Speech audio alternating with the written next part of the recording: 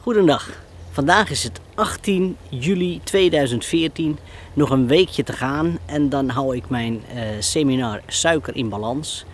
Er wordt erg veel gepraat over suiker, eh, dat het niet goed zou zijn. Eh, er zijn allerlei diëten, er is zelfs een suikereliminatiedieet.